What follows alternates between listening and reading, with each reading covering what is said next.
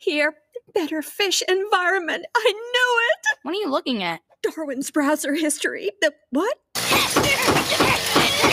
Sorry, we had no idea you were techy enough to check out internet browser histories. Uh, please, go on.